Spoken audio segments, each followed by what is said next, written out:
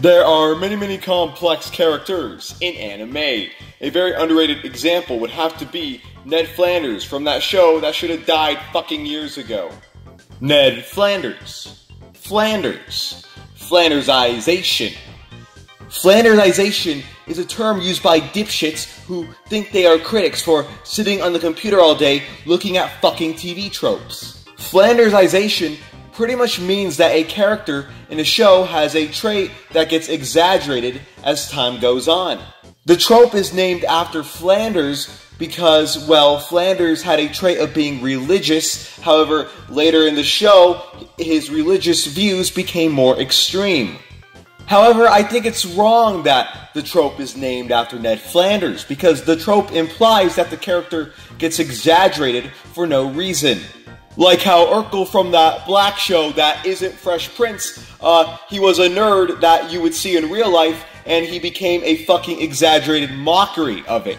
Kelso in that 70s show was a dim-witted guy, but in the later seasons, he, he was a complete fucking retard. Or how that pretty funny fat guy in your class thinks he's now the only alternative source to like mainstream late night comedy. Yeah, ha ha ha, you're the fucking savior of comedy. Yeah, yeah. The reason why I think it's wrong for Ned Flanders to be the poster boy of this trope is because Ned Flanders had character development for his trait to get exaggerated.